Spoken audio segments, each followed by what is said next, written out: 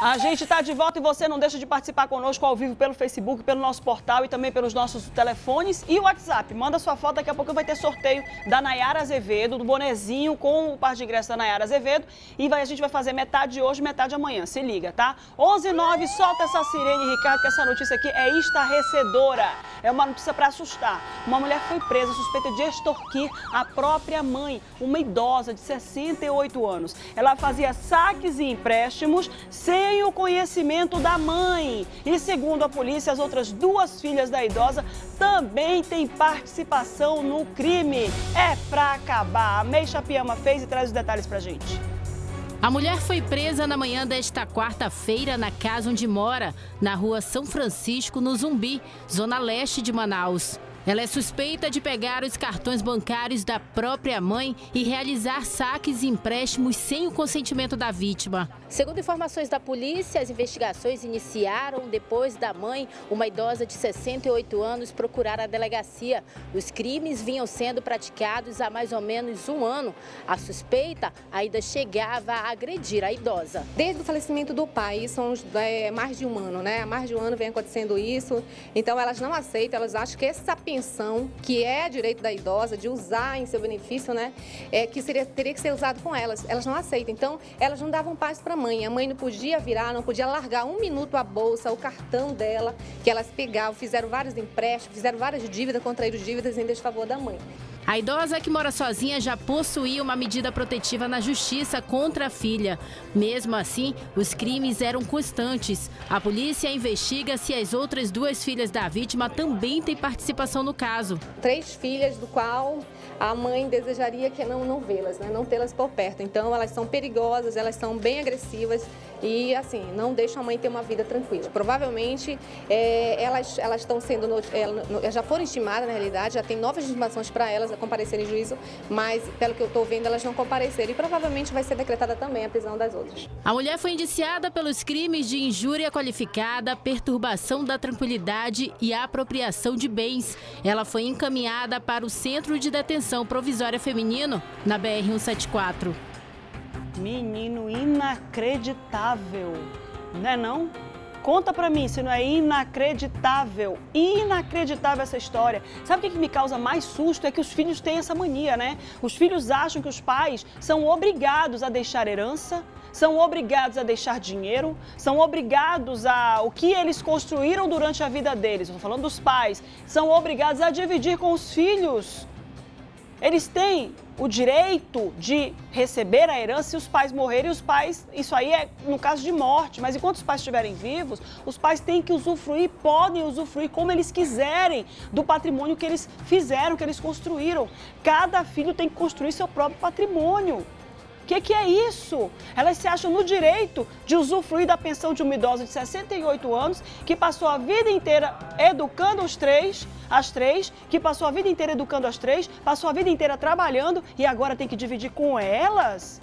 Agora que chegou no momento que pode ele ter uma tranquilidade, ter um dinheiro ali é, sem, sem que seja necessário o, o esforço da, do, físico para poder trabalhar e ter o seu salário, as três se acham no direito de se apropriar desse dinheiro que que é isso? Que valores distorcidos que a gente vê, né? Gente vê por aí, que valores distorcidos. Em vez delas trabalharem e ajudarem a mãe com o supérfluo, com carinho, né? com um agrado, com um presente, além do que ela recebe, para trazer aquele bem-estar para a mãe, estão lá aperreando, aterrorizando, a, acabando com o juízo da pobre da senhora. Pelo amor de Deus. É por isso que eu digo uma coisa dizer uma coisa. 11 horas e 13 minutos, deixa eu dizer uma coisa aqui que eu penso, e claro que cada um pensa de um jeito, mas eu também penso. Não é porque corre a veia, no, corre o sangue na veia que você tem que estar do lado o tempo todo, não. Infelizmente tem parente que toma decisões e escolhas que fazem mal para os seus entes queridos.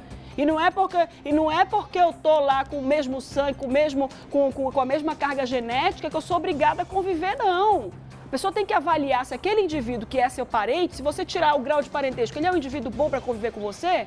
Se não for, procure seu caminho. Ninguém é obrigado a conviver com gente ruim, com gente má, com gente que te puxa para baixo, te puxa para o atraso. Ninguém é obrigado a conviver. Deus não quer isso.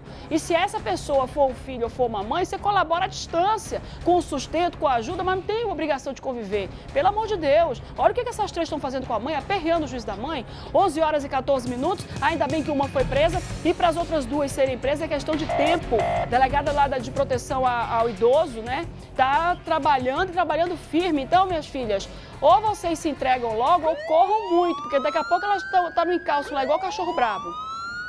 Olha o que eu vou trazer para você aqui. Enquanto a delegada está trabalhando para poder defender a, a, os idosos, né, que é a titular da Delegacia de Proteção ao Idoso, tem policial militar que podia estar tá fazendo a mesma coisa e não está. Está fazendo o trabalho do mal, está fazendo a situação do ruim.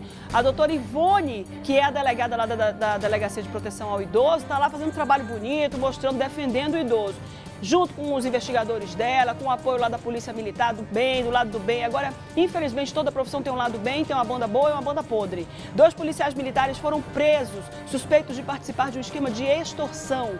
A ação criminosa resultou na prisão em flagrante de um outro policial no fim de outubro. Quem vai contar pra gente em detalhes essa história é o Luiz Rodrigues, aqui na tela. Conta pra mim, Luiz.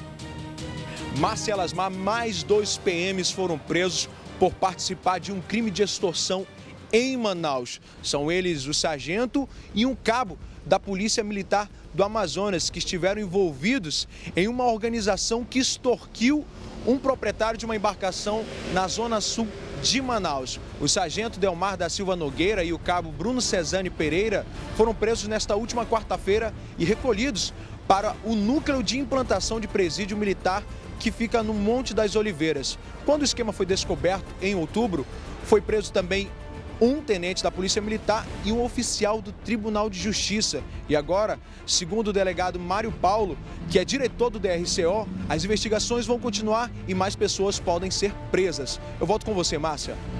Luiz Rodrigues, é óbvio que a investigação vai continuar até que o delegado conclua que todo mundo do esquema criminoso foi preso. Agora eu fico muito triste da gente ver pessoas de bem, que são os policiais militares, que lutam contra a criminalidade, que correm na direção, correm ao encontro, né, ali, de, de encontro, vão de encontro à criminalidade, enquanto a gente corre deles, foge do criminoso, está lá o policial lutando, brigando nessa guerra do tráfico de drogas, instalada do tráfico de drogas, nessa guerra do, de, de crimes de menor potencial, mas que tiram o sossego e a paz das pessoas. E tem policial militar que, em vez de, em vez de assumir essa missão, em vez de estabelecer a, a vida deles na base, baseada ali na, no acerto, no, na correção, está cometendo crime é sair da linha mesmo, né? Sair da linha, perder completamente o foco da vida deles e virar criminoso em vez de protetor, infelizmente. 11 horas e 17 minutos. Você que acompanha o nosso programa da comunidade, continua ligado com a gente. Não se esqueça de participar conosco pelo nosso WhatsApp, não se esqueça de participar conosco pelas nossas redes sociais e com o telefone que eu quero ouvir você hoje, hein? Abre aí as linhas que eu quero ouvir o pessoal que está em casa. Olha, no fim de semana, a Secretaria de Esporte, Juventude e Lazer vai realizar uma ação social com com foco na saúde masculina. Está acabando novembro, o mês que é direcionado à saúde dos homens para fortalecer essa convicção e o comportamento. E o evento vai acontecer na zona leste de Manaus. Quem traz outras informações para a gente é o nosso repórter Valdir Adriano aqui na tela. Valdir. É isso mesmo, a ação social acontece na próxima sexta-feira, dia 30, de 9 da manhã até o meio-dia, lá na mini Vila Olímpica do Coroado, que fica na Alameda Cosme Ferreira, na zona leste de Manaus. Será toda feita uma programação voltada ao público masculino, principalmente para conscientizá-los sobre a importância da prevenção ao câncer de próstata e também ao Dia Mundial de Combate à AIDS, que é comemorado todo dia 1 de dezembro. Além disso, também dois médicos clínicos gerais farão atendimento à população, que também contará com diversos serviços, tanto de estética quanto na área de saúde. Está feito o convite na próxima sexta-feira, na Mini Vila Olímpica do Coroado, na zona leste de Manaus. Valdir Adriano para o programa agora. Obrigada, Valdir. É sexta-feira agora, amanhã, viu? Fica ligado no recado do Valdir Adriano, que traz as notícias pra gente, de tudo que acontece na noite aí, ele que vai lá trazer as informações do que está acontecendo à noite e ainda traz informações aí para você ficar por dentro da saúde, ter um comportamento e qualidade de vida. Mulherada, por favor, chamem os seus maridos, os irmãos, os pais, a responsabilidade, os amigos, para poder todo mundo fazer exame e todo mundo ficar com muita saúde. 11 18. O homem do sapato azul foi conferir a denúncia dos comunitários na rua Álvaro Mar Maia, na colônia Antônio Aleixo. Eles reclamam da falta de infraestrutura, bueiros a céu aberto e uma gigantesca cratera que engoliu parcialmente a rua. Que história é essa, Vanderlei Modesto? Que história é essa de cratera? Não sei. Ele vai contar pra gente com a história toda em detalhes na reportagem. Vanderlei Modesto, o homem do sapato azul.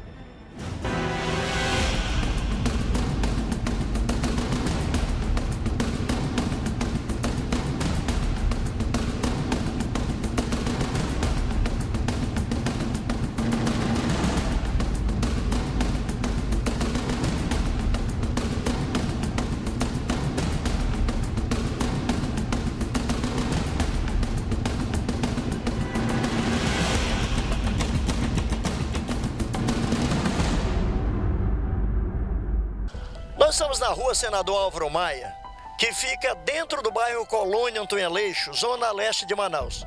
Aliás, o bairro Colônia Antônio Aleixo já existe é, desde 1987. A população é de 17 mil habitantes. E aqui nós viemos conferir uma rua que tem começo, tem fim, mas o meio dela virou uma verdadeira cratera.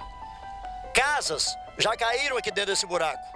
E esta jovem que está aqui, quantos anos? É 67 anos. Qual é o teu nome? Maria Neves. Dona Maria Neves, como foi que aconteceu isso aqui para se formar essa cratera? Foi por causa dos bueiros. São quatro bueiros aqui, né? Aí, então, se o bueiro, a água, quando uh, começa a enxurrada, né, é muito forte a chuva. Aí, lá começou a cavar aqui e foi caindo aí, caindo aos poucos, caiu, caiu, caiu essa casa dali, lá está ali, ó. Caiu da serraria. Por quê? Porque não tem passagem para ir a água Mas descer. essa rua, ela continuava lá? Continuava, ia até lá na beira do rio. A gente descia, os ônibus, logo que fizeram essa rua, os ônibus vinham por aqui e ia subir por ali. E aí fizeram essa serraria, pronto, acabou tudo. Acabou tudo por causa disso. Aí começa o que acontecer é isso aí, né? Fecharam a rua. Gente, a situação aqui também é difícil porque tem muita criança. É. E as crianças não têm um local para brincar. É, então a brincadeira das crianças é vir aqui, ó. Até essa mureta e ficar olhando aqui esse absurdo, que aí a população também já está colaborando, já está jogando lixo aqui dentro e a coisa vai piorando cada dia mais. Nós estamos aí solicitando às autoridades competentes que, por favor, tomem providências com relação a isso aqui. É a Rua Senador Álvaro Maia, Colônia Antônia Leixo, Zona Leste de Manaus. A informação que nós temos é que até o final do ano, essa rua aqui vai sofrer uma alteração. As pessoas vão começar a trabalhar aqui, pelo menos fechando os bueiros, colocando tampa nos bueiros, porque corre o risco das crianças caírem dentro do bueiro. Um dia dessa uma criança caiu aqui no bueiro e quase que desaparece. E a prefeitura tem que tomar providência. As imagens são de Vinícius Modesto, reportagem de Vanderlei Modesto, homem do sapato azul, para o programa agora.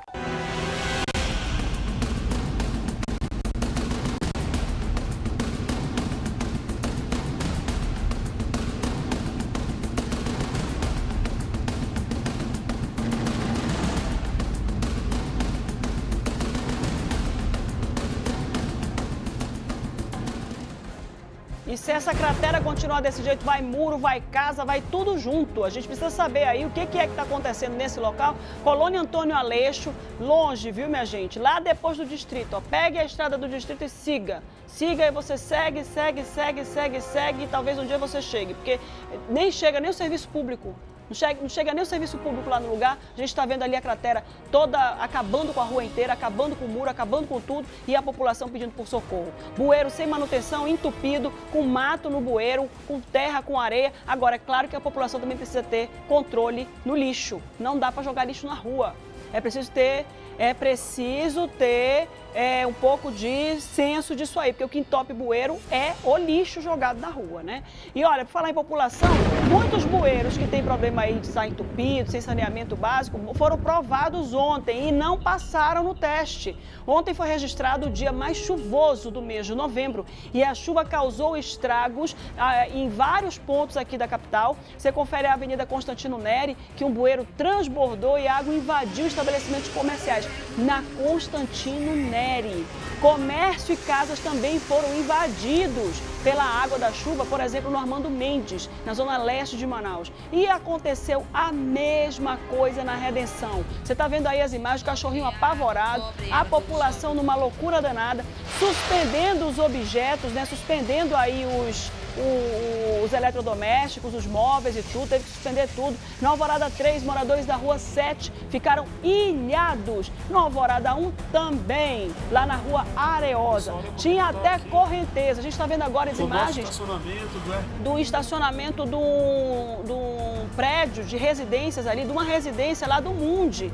Você viu aí o avião, também uma outra ocorrência no aeroporto, o avião passou da, da, da pista, passou reto né, não, não conseguiu aderência para poder frear a aeronave, passou direto. Os voos tiveram que ser desviados. Esse avião vinha de Caracas, na Venezuela, deslizou, saiu da pista por conta disso. A pista ficou fechada. Muitos voos que precisavam aterrizar nesse mesmo horário foram desviados para Tefé, Boa Vista, Santarém. Você continua conferindo essas imagens aí dessa forte chuva que caiu na cidade e trouxe transtorno para todo mundo. E, gente, vai chover mais infelizmente vai chover mais, tá? A Defesa Civil, a Defesa Civil informou que foram quanto, qual foi, qual foi o número de ocorrências?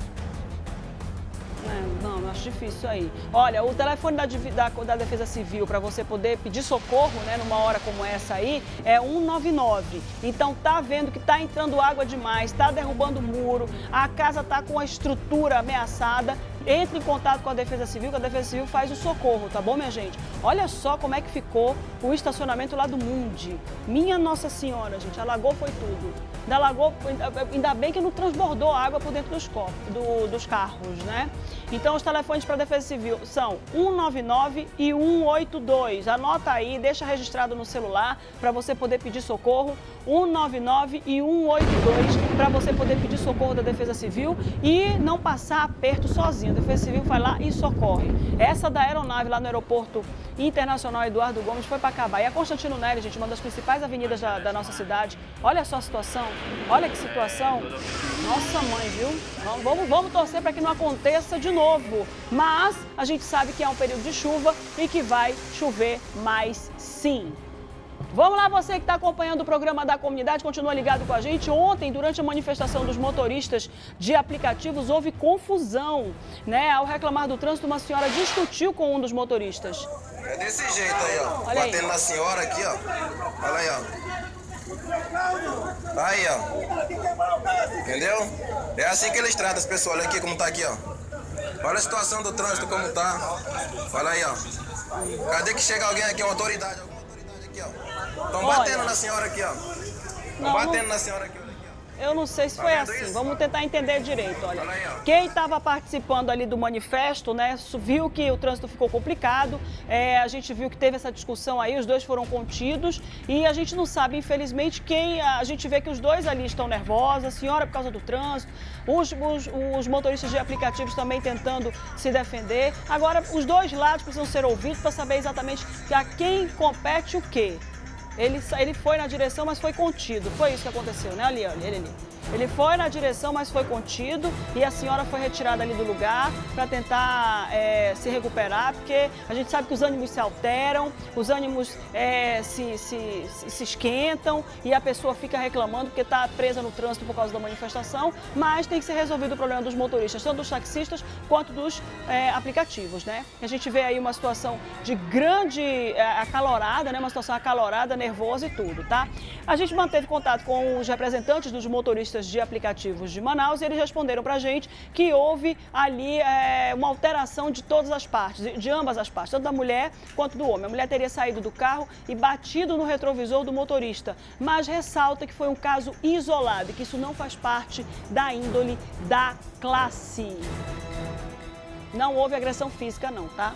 Tem mulher que é abusada, a gente tem que saber se é realmente isso. Infelizmente, a gente sabe que tem, não vou aqui, é, são trabalhadores pedindo socorro. E a gente sabe que tem pessoas e pessoas, pessoas que sabem reclamar com firmeza, com educação, e pessoas que reclamam baixando o nível. 11 horas e 28 minutos. Tem telespectadora na linha do programa da comunidade querendo fazer uma denúncia. Vamos ouvi-la. Alô, é lá da Praça 14, aqui pertinho aqui da TV. Alô? Meu amor, Meu amor, aqui na Praça 14 nós estamos precisando de luz. Luz. Tem uma pracinha aqui que está seis dias na escuridão. Ah, peraí, deixa eu entender a senhora. A senhora quer se identificar, nós não? estamos sofrendo com esse problema. A senhora, quer, a senhora não quer se Não, identificar? eu não quero me identificar. Ok, não precisa. Uma força pra gente, que a gente liga pra polícia, liga pra todo canto e não consegue. A luz que a senhora quer é luz do poste. Tem energia elétrica aí na, na, na Praça 14. O que não É, tem é não, iluminação não, na pública. Praça, a praça toda escuridão. A praça está sem iluminação pública, é isso que a senhora reclama. Dias, isso aí é maconheiro e a gente fica doidinha.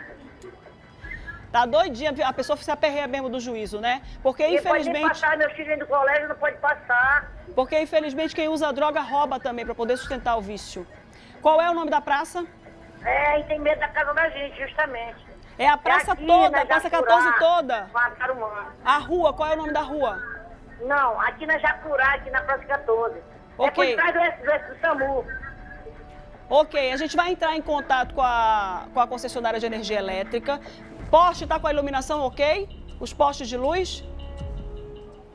Tá bom, obrigado, meu amor. Tá bom. é 10. Por nada. Pega, pega a ligação aí.